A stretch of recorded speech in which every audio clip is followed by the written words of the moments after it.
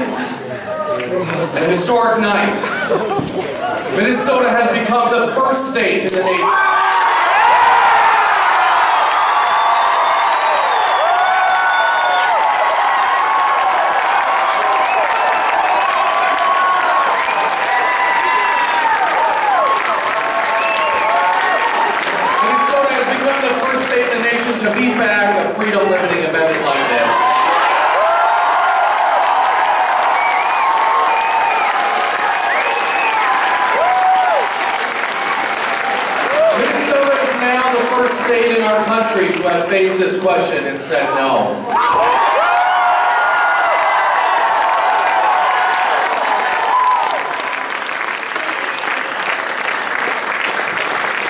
No to limiting the freedom to marry. No to telling some families they're less than others. No to the idea that, that it should be illegal to marry the person you love.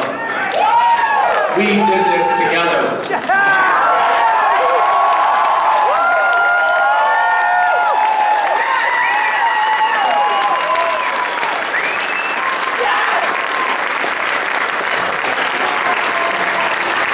This campaign is made up of nearly 700 coalition members. Representatives from all major political parties, Republicans, Democrats, Independents, and Greens. Businesses and business leaders, nonprofits, labor and faith communities, all who've come together on this one core principle, don't allow Minnesota to permanently limit the freedom to marry for same-sex couples.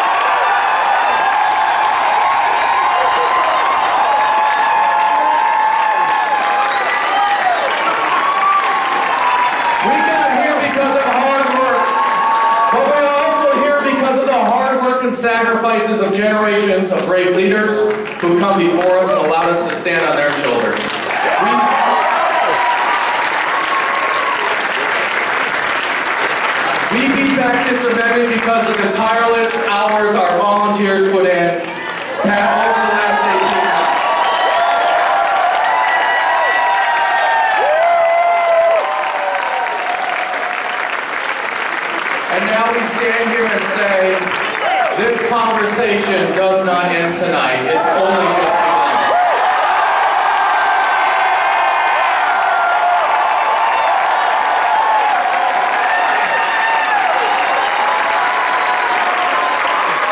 Because, because we beat this amendment, Minnesota's in a position to ensure that the next generation can participate in the conversation about who should have the freedom to marry.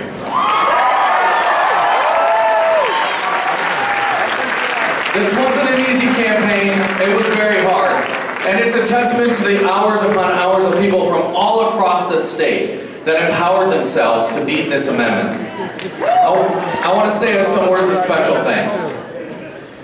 We have an incredible board of more than 40 people. I'm not going to name each and every one of them, but there are some people you should know. First off, Christine Almeida, the board chair.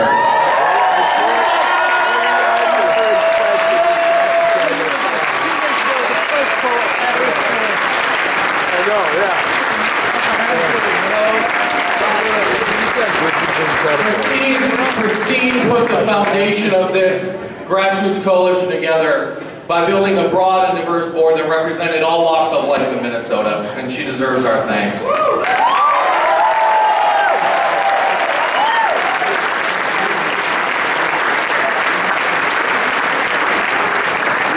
Next, I want to thank Dale Carpenter, a Republican, who proudly stepped in as our campaign treasurer and really helped us raise awareness.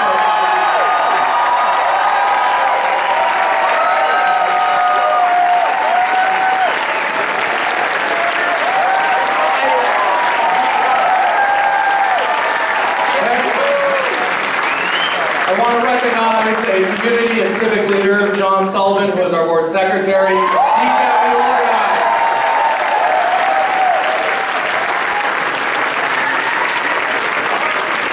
I want to thank Senator Scott Dibble right here to my left.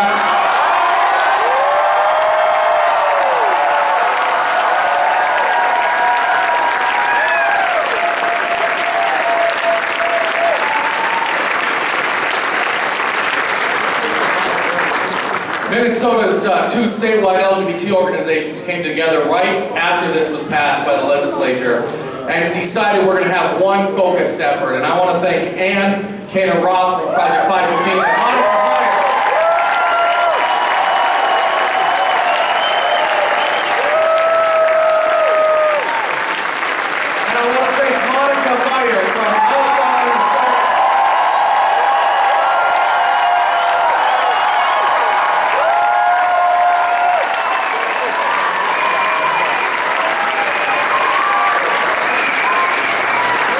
You know, you know, Minnesota wasn't alone in this, and we had some help. And I want to just recognize a few other folks. Uh, Thalia Zepatos from Freedom to Marry. Freedom to Marry provided $1.6 million to this campaign.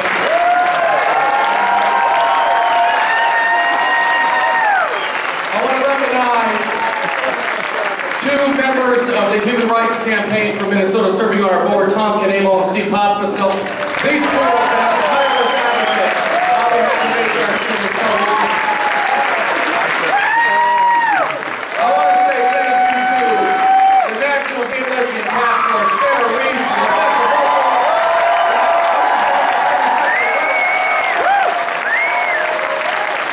And I want to say thank you to Kevin from the Family Equality Council for being with us every step of the way as well.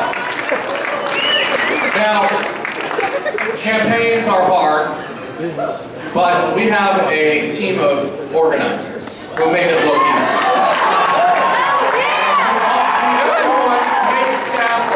Full-time volunteer, you did this. You empowered Minnesotans one at a time to make this happen. This victory is yours.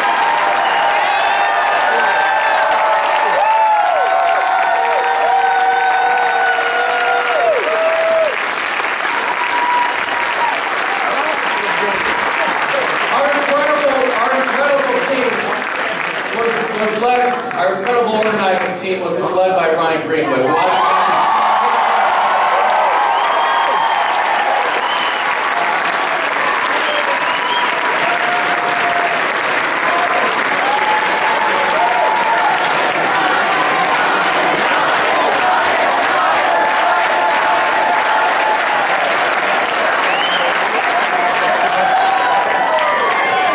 I want to say, I want to say that Gia Vitale came to us and she organized Pride, she organized the state fair, she organized every major flashpoint in this campaign. Gia Vitale, you are amazing.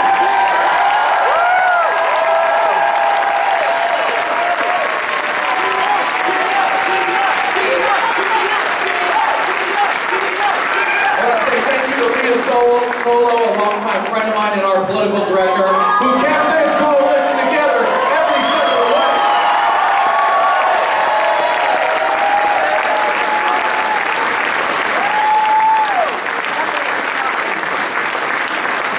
And I want to say thank you to our communications team who kept me and this entire campaign on message every step of the way. We believed in you, Kelly Schwinghammer.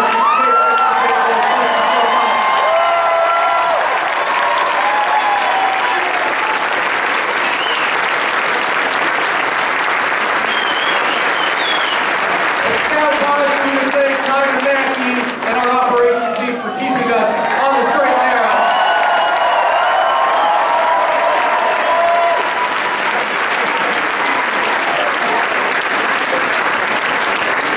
Six weeks ago, a Minnesotan named Ben Goldfarb joined our team to be the director of endgame operations, and this brought it home.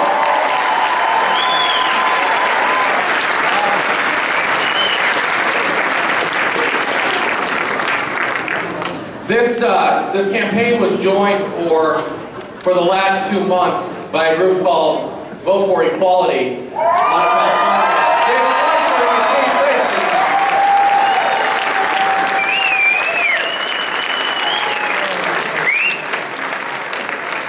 Finally, I want to say there's a lot of amazing things that this campaign did that, that a lot of folks didn't believe at, from the beginning. One of those things was that we raised, to deliver victory for this state, Chris McMullen raised $13.4 billion.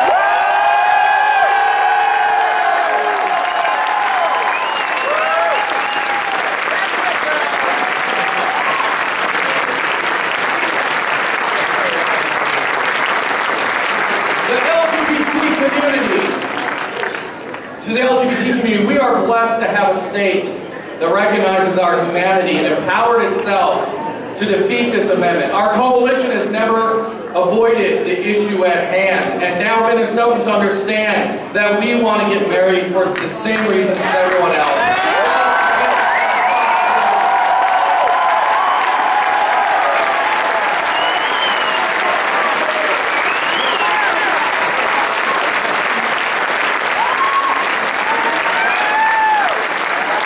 And now, because every member of the LGBT community knows we can't do it on our own, let me hear from our straight allies who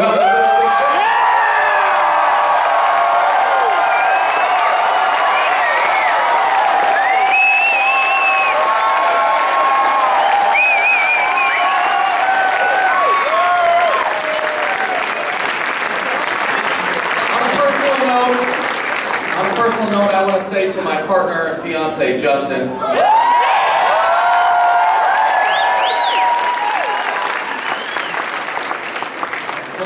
five years, you have shown me incredible support and unending patience. It's your birthday tomorrow. It's your birthday today!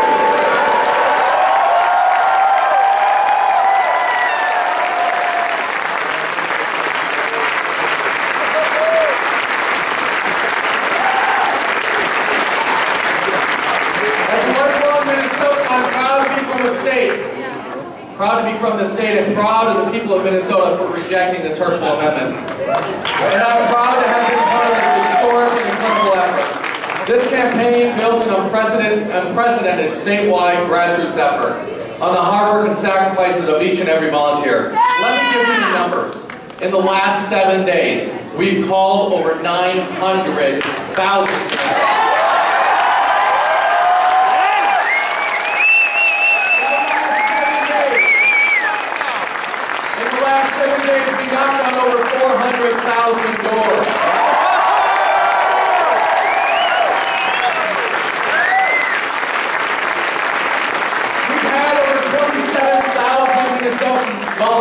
this campaign.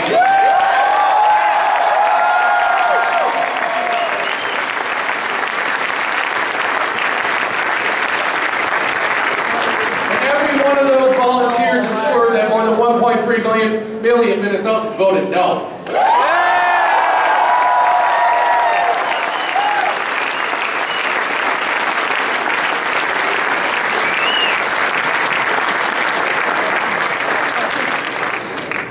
So I want to, I just want to say this is obviously an historic moment for our state and our country, with wins uh, in so far in three states and another one expected in Washington. Because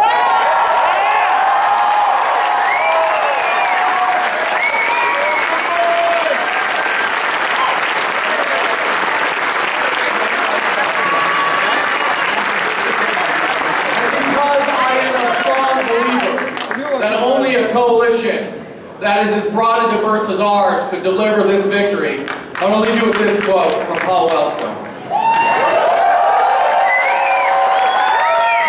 Politics, politics doesn't have anything to do with the left, right, or center. It has everything to do with trying to do right by people. Thank you.